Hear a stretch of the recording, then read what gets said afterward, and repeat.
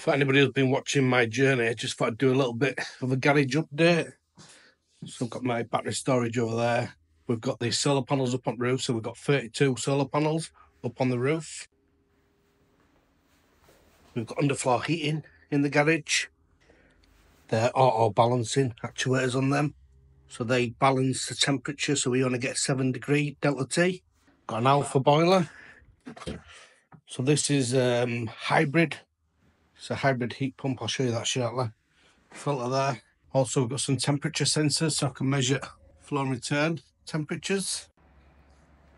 This is the other part of the hybrid heat pump setup. As for people that say about noise, don't know if you can hear that, that's on full at the minute.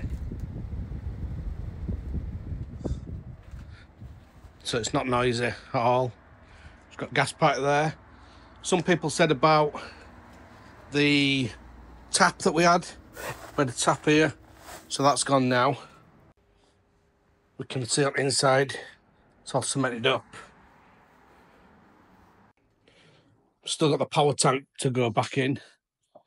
I'm just not certain where I'm going to put that yet. Might put it down that wall there, or I might put it there. We'll see. Got my little hideaway in here. Just a little hideaway. Got my thermostat in there. So I can get to that when I need to change batteries later on. So that's for the thermostat in the room. Then that works on my on my app.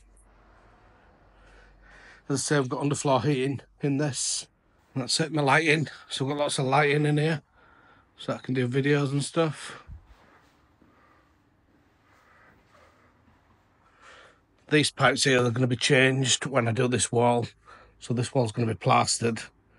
Obviously to match rest of it. And then them pipes are going to go across there. I don't know if you can see. Across there. So it'll just look look a bit neater. Probably boxed in as well.